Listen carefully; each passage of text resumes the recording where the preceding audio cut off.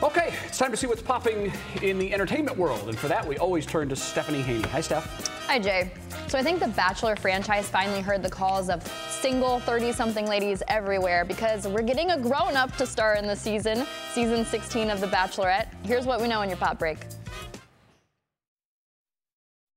Finally catching up with the real world, the oldest bachelorette in the franchise's history was announced today at the young age of 38. Clare Crawley, who was originally on Juan Pablo's season of The Bachelor in 2014, is back, and this time men will compete for her love. She'll turn 39 during filming, and it's being reported that some potential suitors have already been recast in favor of more mature men. Go get 'em, girl. And speaking of reality television, everyone is talking about Netflix's new dating show, Love is Blind. Saturday Night Live got in on the action this weekend, spoofing the show with a twist. They all share something in common. Not only are they truly desperate to get married, once I'm a wife, I won't have problems. They're also being quarantined because of exposure to the coronavirus real show, daters only get to lay eyes on each other if they get engaged and have to decide if they'll get married by the finale. And now we get to check back in with everyone a year and a half later with a reunion special dropping on Thursday.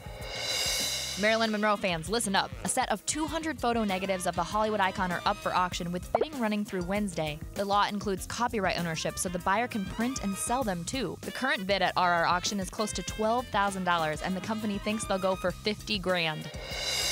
And in the biggest change to daytime TV since Oprah Winfrey left the air, Judge Judy as we know it is ending after 25 seasons, and it was the network's call. What they decided to do was to sell a couple of years worth of reruns. We still have a full year of new shows coming our way before that happens, but the Honorable Judge Judy Sheindlin told Ellen that she's not tired yet. So, Judy Justice will be coming out.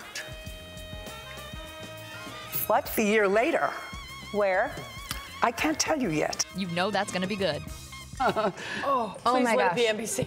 right? So listen to this, okay? I had the pleasure of interviewing Judge Judy when I was getting my master's in journalism in oh, 2016. Wow. And she told me her negotiation style, this is what she did every year. She would write down a number on an envelope, go to dinner with an executive at the place, slide it across the table, no negotiation. It was take it or leave it. This was her number. She was not going to do another year. Did they Judge have to Judy do it on the spot? Unless they met it.